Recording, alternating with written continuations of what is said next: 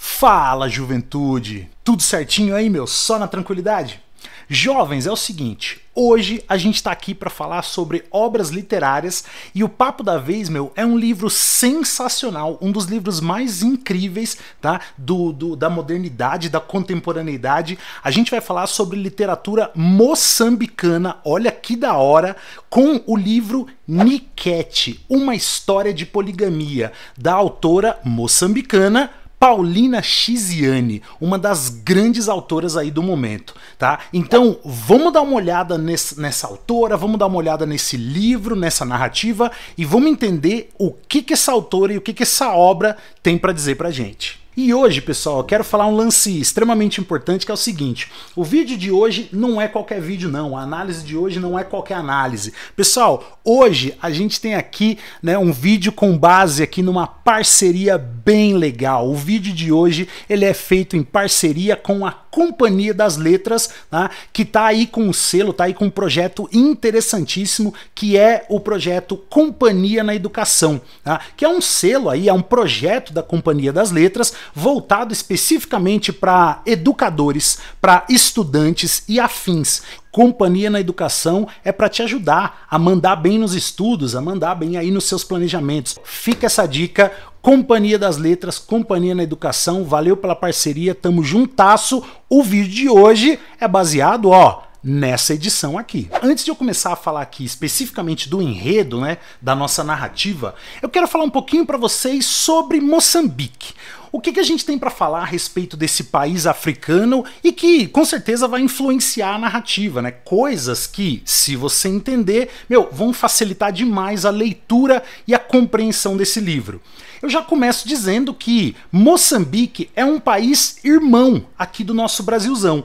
País irmão por quê? Meu, Moçambique, assim como o Brasil e assim como Angola também, foi um país colonizado por Portugal, pessoal. Ou seja, Moçambique é um país de língua portuguesa. É claro né, que há outras línguas, outros dialetos que são falados ali em Moçambique, mas Moçambique tem como idioma oficial então a língua portuguesa, a língua do colonizador. Pessoal, Moçambique fica ao sul do continente africano e é banhado pelo Oceano Índico e não pelo Atlântico, tá? Ou seja, Moçambique não está de frente para o Brasil, tá do outro lado. Moçambique fica de frente para Madagascar, né, para a ilha de Madagascar, outro país africano aí bastante conhecido também. Entre 1964 e 1975, Moçambique passou por uma guerra de independência. Sim, meus caras entraram em guerra para tentar se ver livres ali do domínio português, né? Até então eram colônia portuguesa. E aí as coisas por lá ficam mais ou menos tranquilas por um tempinho, mas é pouco tempo, porque em 1977 os caras entram numa guerra civil, muito influenciada né, por tudo que estava acontecendo ali na Guerra Fria, isso é bastante importante de saber. A Guerra Fria tem total é, participação, total influência nas guerras que rolaram tanto em Moçambique quanto em Angola. Tá? E essa guerra civil em Moçambique, que começa em 1977, se estende até 1992. É só em 1992, então, que o país entra de fato numa, no que a gente pode chamar de uma calmaria política, ok? Então, esses pontos são importantes. Inclusive, o fato da Guerra Civil ter acabado em 1992 vai ter um breve eco na nossa narrativa de hoje. Então é importante saber. E só para a gente fechar essa introdução, para você se situar legal, é importante a gente saber que em Moçambique existe uma ideia bem interessante de divisão entre norte e sul. Você tem que ir para a leitura pensando nessa diferenciação entre norte e sul. Isso é muito marcado na nossa narrativa aí. Niquete, pessoal, que é o título do nosso livro, se refere a uma dança. É uma espécie de dança de amor, ou seja, uma espécie de dança ritualística. E essa dança, Niquete, ela é responsável por introduzir as mulheres na vida amorosa. Então é uma dança de introdução nessa, nessa vida amorosa, vida adulta, de amores e de autoconhecimento. Bom, pessoal, e agora que você está aí já contextualizado na nossa narrativa, vamos falar um pouco da estrutura. Eu começo dizendo que são 43 capítulos nesse livro. Os capítulos não são muito longos, não, então é bem tranquilo de ler. Outro ponto importante é que o foco narrativo desse livro é em primeira pessoa, ou seja, a gente vai ter aqui um narrador personagem, ou melhor dizendo, uma narradora personagem, isso é bem importante, e essa narradora personagem é a nossa protagonista, uma mulher forte, vou falar muito sobre ela hoje. E olha só, para falar do tempo, é só você pensar que o tempo da narrativa é contemporâneo à data de publicação. Esse livro foi publicado em 2002 pela nossa autora aí, pela Paulina Chiziane, e tudo se passa ali nesse finalzinho de, de século 20, passagem para o século 21, nessa passagem de milênio, tá? Então pensa que tudo se passa ali próximo do ano de 2002 mesmo. Ó, já com relação ao espaço, aí tem uma sacada que você tem que saber, que tem tudo a ver com o que eu falei aí agora há pouco, nessa relação norte-sul. Pessoal, a narrativa ela vai rolar ali principalmente em Maputo. Maputo, pessoal, é a capital de Moçambique e essa cidade aí, Maputo, fica no extremo sul do país. Se é que tem, e tem, né, como a gente viu aí, esse embate entre norte e sul, né, todas essas diferenças culturais, é importante você pensar que a nossa protagonista, ela mora em Maputo, então ela é uma mulher do sul. Os embates que vão rolar aí entre sul e norte tem muito a ver, tem a ver diretamente com essa protagonista. E aí, você já vai anotar de cara o seguinte: a nossa protagonista aqui é a Rami. E quem é essa mulher forte aí, a Rami, pessoal? Anota que a Rami é uma mulher de 40 anos de idade e ela é casada com o Tony. O Tony é mais velho do que ela, ele tem 50 anos de idade, tá? E a Rami, ela é uma mulher do lar. Então ela cuida ali dos filhos e deveria cuidar do marido. Por que, que eu digo deveria? Por, por uma questão cultural, por uma questão de tradição. A tradição ali sul-moçambicana afirmava isso. Então, né, você tem que ser submissa ao marido, cuidar do marido. Só que esse marido, ele nunca tá em casa. Tá? Ele sempre está fora. O livro começa já com esse dado interessante, que mostra pra gente uma forte questão cultural, o dever que essa mulher tem em relação ao marido dela, e mostra também um outro dado cultural, que é o fato de ser comum, de ser normal, esse cara nunca tá lá. Ó, um ponto importante para a narrativa é que o Tony, ele é do alto escalão da polícia de Maputo, tá? Então ele é um comandante de polícia. Pensa num cara que manda no rolê lá em Maputo. E o livro começa com um brevíssimo eco à Guerra Civil. Por quê? Porque o livro começa com a Rami, lembra que ela é a narradora, a Rami dizendo que ela ouve um estrondo. E ela já pensa assim: meu, ouvi um estrondo, deve ser uma bomba, devem ser os sinais da guerra voltando.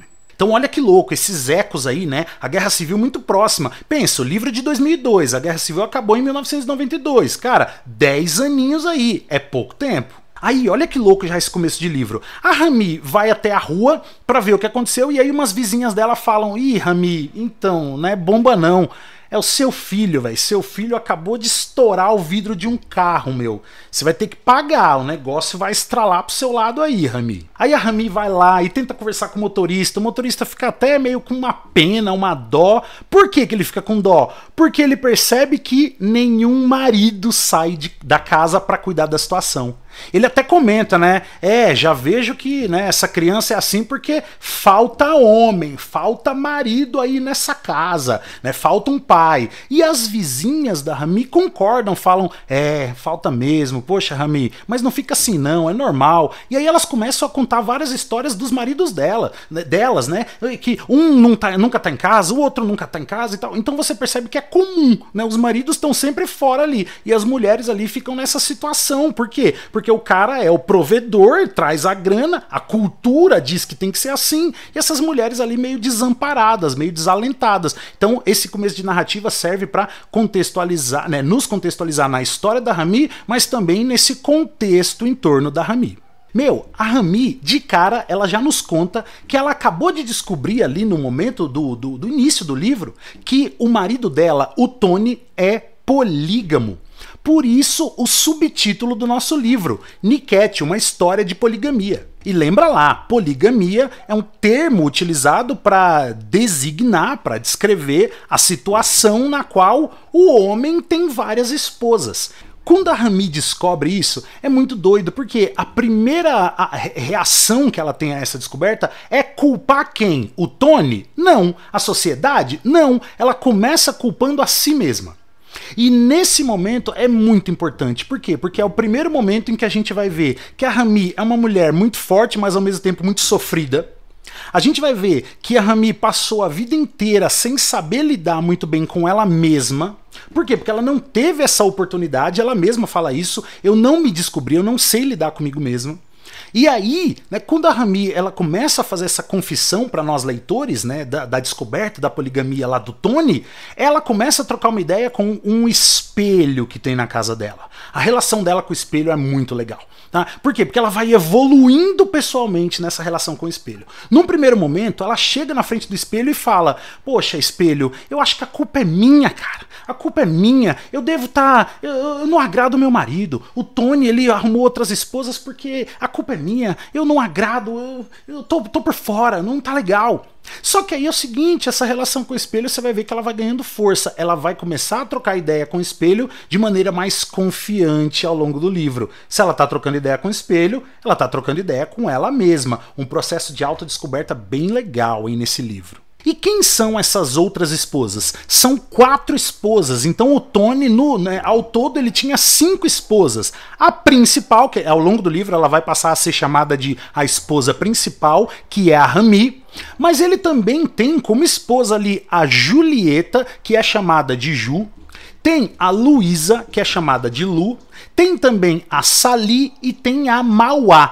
Ó, de cara, o que a Rami decide é que essas outras esposas são rivais dela, são inimigas. A primeira, né, da qual ela vai atrás é a Julieta, a Ju, tá? Que não mora tão longe da casa dela, então ela vai a pé mesmo atrás da Ju. E quando ela chega na casa da Ju, que ela encontra lá, ela entra na casa da Ju, e meu, elas começam a trocar ideia, a Ju fala umas paradas pra ela, ela não aceita bem, o, meu, elas começam a tretar e saem no braço, velho. Elas começam a rolar na rua, uma tretando com a outra, e tem soco, tem porrada, tem puxão de cabelo, meu, tem de tudo ali, mó treta. Só que depois da treta, estão as duas cansadas no chão ali, tudo rasgada, sangue para todo lado. E aí a Ju começa a falar: Poxa, meu, eu tô aqui, cara, sabe? Tô aqui cuidando dos meus filhos e tal, né? Os filhos do Tony. E aí chega você me batendo. E aí é que a, a Rami se dá conta. Ela fala: Peraí, então o Tony não tá aqui também. Então o Tony, ele não tá na minha casa. Né, eu sou esposa dele, mas ele me deixa lá cuidando dos filhos sozinha.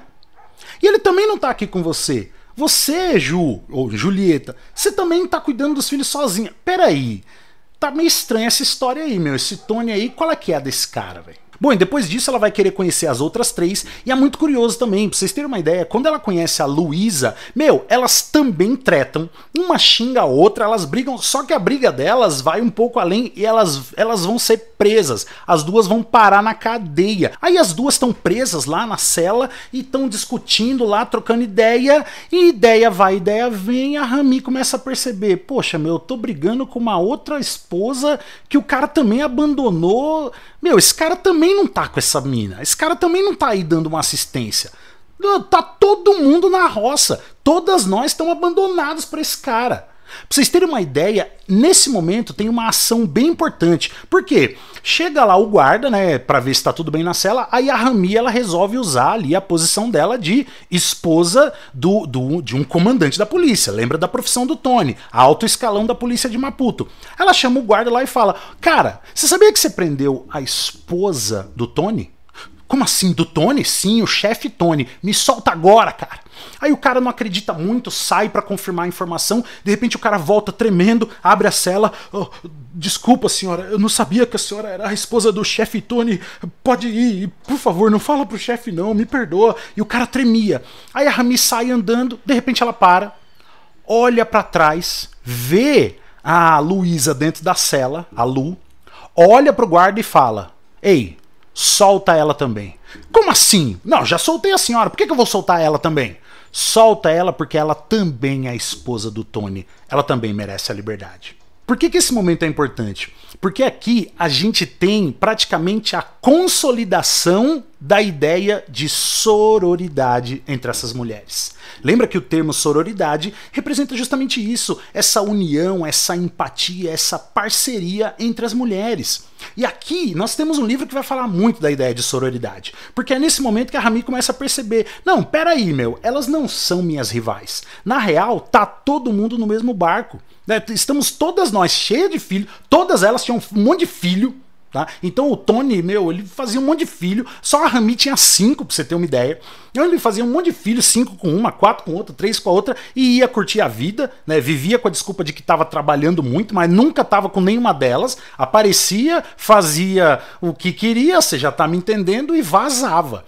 Então elas se unem. A Rami tem a ideia de unir todas elas, né? Então ela faz uma reunião com todas as esposas, ela e as outras quatro, e ela pensa: meu, vamos nos unir. Nesse momento é muito louco, porque elas vão se tornando amigas, a amizade delas vai se, se, é, se estreitando, e olha que curioso, elas chegam a montar negócios juntas, tá? A Rami é, vai dando uma, algumas ideias para elas, tá? E elas vão, né? Uma constrói um salão de cabeleireiro, outra começa a vender umas roupas, a própria Rami começa a vender uns negócios ali e tal, e elas se tornam meio que independentes do Tony financeiramente. É o primeiro passo para que elas comecem a perceber: peraí, meu, mas esse Tony aí, será que ele faz falta mesmo? Qual é que é a desse cara? Então elas vão se unindo em torno da dor. Só que calma, a narrativa também não é tão linear assim, né? Ah, foi da dor à alegria e ê, que bonito, que alegria, que beleza. Não, claro que não. Essa narrativa é muito densa. A Rami, ela passa por altos e baixos em relação aos sentimentos que ela tem pelo marido, pelo Tony. Então ela é amiga das outras, elas vão se aproximando, mas ao mesmo tempo a Rami passa por vários questionamentos. Ela chega a procurar, para vocês terem uma ideia, alguns rituais religiosos, algumas simpatias para tentar fazer o marido dela, né, o Tony, esquecer as outras esposas e passar a pensar só nela. Aí depois ela volta a pensar nas amigas e vê que não, que ela tá fazendo errado. Então essa questão é, da cultura religiosa também vai aparecendo ali nesses altos e baixos ali é, pelos quais a Rami vai passando ao longo da narrativa.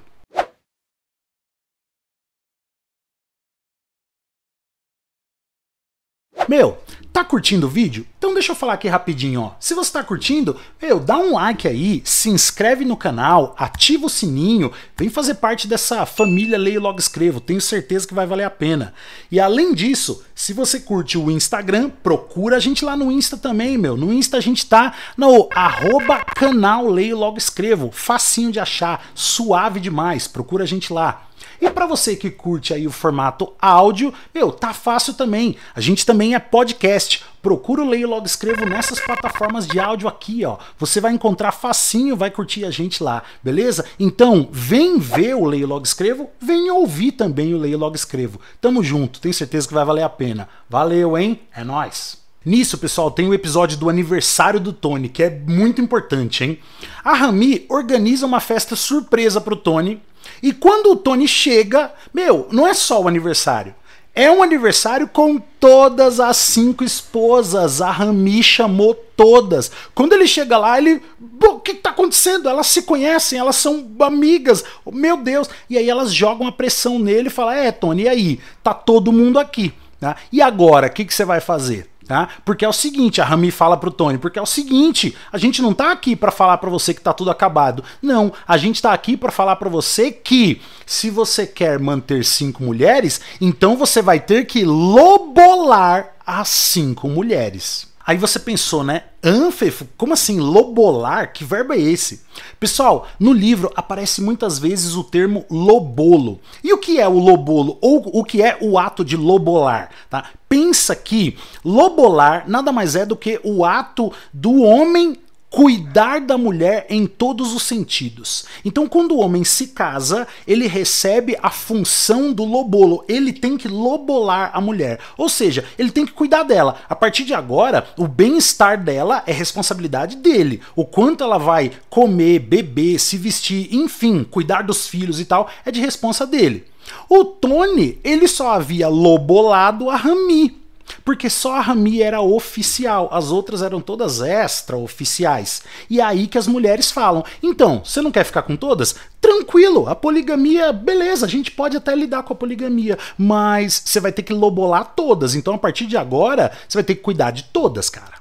Meu, é muito louco, porque o Tony, ele respira fundo, ele começa a ter uma espécie de taquicardia lá. Ai, meu Deus, meu Deus, né? É, dá um migué lá, né? Ai, ai, estou passando mal. E ele vaza, e ele vaza. Mas o que que acontece? A mãe do próprio Tony consegue trocar uma ideia com ele, né? Ela sempre fala, ai, porque o meu Tony, o meu Tony. Então ela cuida super do filhinho dela ali, tá? Mas ela também é adepta da tradição, né? Das tradições. E a mãe do Tony consegue convencê-lo que sim, ele tem que lobolar todas as mulheres. E aí a Rami, por sua vez, cria uma escala. Então a Rami super organizadora. Então ela chega e fala: Não, meu, nós somos amigas agora, então você vai cuidar, você vai lobolar todas. Então a partir de agora tem uma escala. Você vai dividir o tempo exatamente igual com todas as mulheres. Vai ficar um pouquinho com uma, um pouquinho com outra. E é o seguinte, sabe, né, as, as relações íntimas, aquelas coisinhas de grão, que, né, você sabe do que eu tô falando? Sabe isso aí, Tony? Pois é,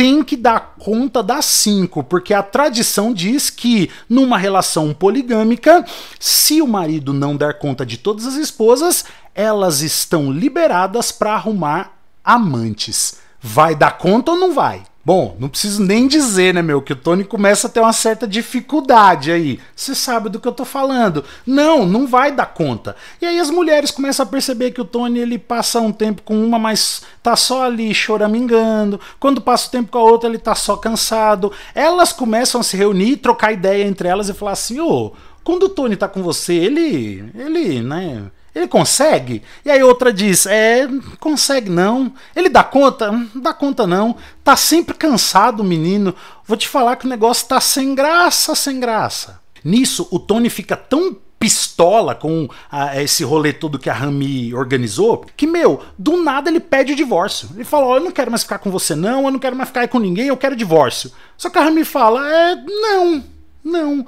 Quer saber? Não dou divórcio coisa nenhuma, não vai ter divórcio não, belezinha? Meu, o Tony fica pistola e divórcio não sai e tal. Eu sei que do nada o Tony desaparece e aí a gente tem uma outra virada interessante no livro, porque do nada a Rami recebe a notícia da morte do Tony. Chega ali uma galera e fala: Rami, Tony morreu, velho. A Rami pergunta: Mas como é que o Tony morreu? Ah, morreu atropelado numa ponte. A Rami vai lá para reconhecer o corpo. Quando a Rami chega, o corpo tá meio detonado, mas ela vê de cara que, meu, aquele cara não é o Tony mesmo. Tá, mas não é o Tony. Ela até fala, ela tenta falar com a família do Tony. Meu, não é o Tony. Eu, eu convivi com o cara, eu sou a primeira esposa, não é o Tony. A família do Tony não acredita nela, culpa a Rami pela morte do cara. Não, ele morreu porque ele estava sob pressão do que você tá fazendo com ele. E a primeira ação da família do Tony é arrancar tudo da Rami. Por quê? Porque a tradição dizia que, meu, se o cara morreu agora, ela não vai ter mais nada. E não só isso. Além da Rami ficar sem nada, só morando dentro de um cubículo, porque perdeu tudo, é, a família dele tira todos os móveis e bens e tudo, deixa ela morando numa salinha. Pela tradição, numa relação de família, quando o marido morre, a esposa ela é concedida a um dos irmãos. Nesse caso, o irmão mais novo do Tony era o Levi, e o Levi agora ele passa a ter direito sobre a Rami, direito sobre o corpo dela mesmo, tá? Então ela teria agora que ceder o corpo dela ao Levi, irmão mais novo do Tony. Só que aí é que vem um detalhe interessante. Nessa noite, a Rami, né, quando tudo vai acontecer, ela tá super desconfortável, mas quando a noite começa a acontecer, o Levi, irmão mais novo do Tony, é tão gentleman, é tão da hora, é tão carinhoso, tão cuidadoso né, com a Rami, e ele demonstra também um desejo, uma tão forte pela Rami, que a Rami pira, ela pensa: eita, rapaz, interessante esse negócio aqui. A Rami passa uma noite da hora com o Levi, mas assim, da hora, pira na noite. Só que alguns dias depois, quem que aparece? Meu, aparece uma sexta mulher falando que era só amiga do Tony, mas todo mundo, inclusive, né, as outras esposas entenderam que ela também era mais uma mulher que o Tony tinha arrumado, ou seja, além das cinco, o Tony estava atrás de uma sexta. Mas ela chega ali falando que era só uma amiga e que ela sabia do paradeiro do Tony, porque ela tinha ajudado o Tony a sair do país, a sair de Moçambique e ir para a Europa para esparecer a cabeça. Ela que tinha comprado a passagem.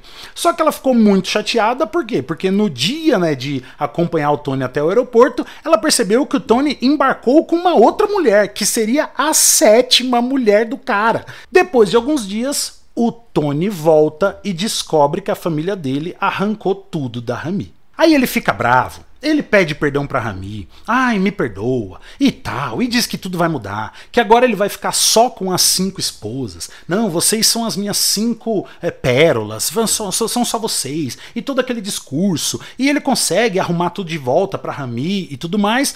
Porém, porém, porém, Trocando uma ideia entre elas, as esposas percebem que, meu, o Tony não ia conseguir deixar essa vida nunca, né? De querer ter mais e mais mulheres.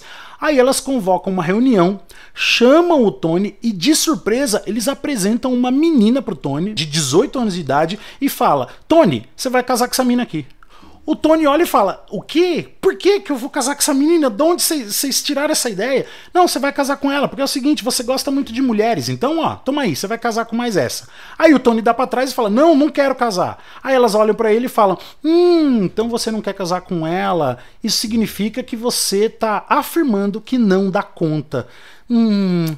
Você não dando conta, não tem por que a gente ficar com você. A tradição agora está do nosso lado. A gente vai te deixar, porque um marido que não dá conta dentro da relação da poligamia é um marido que tem que ser deixado para trás. A única que não o deixa para trás, quem é? A Rami. Porque apesar de tudo, havia um sentimento né, dela como primeira esposa. Então todas as esposas saem fora, elas têm grana agora, todas elas tocaram o negócio delas, muito bem, obrigado, todas elas vazam a Rami fica, um olhando para o outro e ali eles saem para trocar uma ideia numa praça. Bom, chegando ali na praça, começa a chover, é uma cena bem, bem bonita, mas ao mesmo tempo muito muito forte, né? E eles começam a trocar uma ideia. O Tony começa a perguntar um monte de coisa para ela, pô, por que isso tudo aconteceu? E ela fala, pô, aconteceu porque você deu mancada com todas nós, cara. Você não entendeu qual é que é o esquema. E ali eles têm uma conversa muito franca até que eles dão um abraço. Quando eles se abraçam, o Tony põe a mão na barriga dela e percebe que a barriga dela tá um pouquinho maior. Aí o Tony se afasta e fala: "Que que é isso, Rami?" Aí a Rami olha para ele e fala: "Pois é, Tony, eu tô grávida." Só que aí o Tony faz umas contas na cabeça e fala: Não, mas como grávida? Eu fiquei mó tempão fora e mesmo quando eu tava aqui, fazia muito tempo que a gente não fazia nada, não, não dava umas namoradas nem nada. Irarará, irarará. Como assim você tá grávida? E aí vem a confissão final da Rami, na qual ela diz: Sim, Tony, o filho é do Levi, do seu irmão. E a narrativa acaba aí, com os dois conversando lá na praça sobre essa é, informação, essa notícia é, bomba, impactante, e o livro acaba nisso. Tá? Mas, como eu sempre faço aqui com vocês, o que, que a gente tem para falar além da narrativa? O que, que a gente tem para falar aí do ponto de vista de interpretações e pontos importantes? Ó, eu começo dizendo que você já tem que pensar que esse livro conta a história de uma mulher do ponto de vista da própria mulher. É a Rami que conta a história dela. Não é à toa que a nossa autora, Paulina Chiziane, não criou esse livro com uma narrativa em terceira pessoa, um narrador de fora. Não, é a própria Rami. E a Rami não é só a Rami. A Rami é toda e qualquer mulher moçambicana vivendo uma situação extremamente comum, extremamente corriqueira e igualmente extremamente dolorosa. Então, o ponto de vista da mulher é extremamente importante aí. Outro elemento também é que é um livro de questionamento das tradições, mas ao mesmo tempo é um livro que reconhece a existência das tradições, o peso também das tradições e o quanto as tradições norteiam muito a vida das pessoas. Então o livro vai questionar, mas não é um questionamento puro e simples, ah, eu discordo, ponto. Não, o livro ele questiona, mas ao mesmo tempo ele discute, ele tenta compreender o peso daquilo na sociedade moçambicana, então é um livro de questionamento, mas ao mesmo tempo de tentativa de compreensão. O é essa cultura na qual eu, mulher moçambicana, me insiro e como eu posso questionar, como eu posso entender e questionar tudo isso. E aí, para finalizar, eu reforço a questão de norte e sul. A Rami, como uma mulher do sul, ela tem uma cabeça muito parecida com a das mulheres do sul que consideram a poligamia algo ruim, algo que, com, com o qual é difícil lidar, uma coisa pesada, uma coisa que pode ferir. Então ela tem muita dificuldade de lidar com aquilo. Diferente das mulheres do norte, que, por uma questão histórica, tratam a poligamia com muito mais naturalidade e leveza. E aí a Rami, muitas vezes, ela fala: eu queria ser mais parecida com as mulheres do norte. Ela faz esse questionamento, né, no sentido de querer abrir a cabeça, né, na, na visão dela, como, como uma mulher do sul. Tá? Então, essa relação norte-sul é bem importante do ponto de vista da cultura. E a gente tem que também pensar né, que, do ponto de vista cultural, entra aí a questão da poligamia, que é sim vista de, maneira de maneiras diferentes no, nessas duas regiões aí de Moçambique. Bom, juventude, é isso. Eu espero demais que esse vídeo tenha te ajudado muito. Você vai arrebentar aí em tudo que é prova e tamo junto. Belezinha? Até uma próxima, se cuida muito e tchau!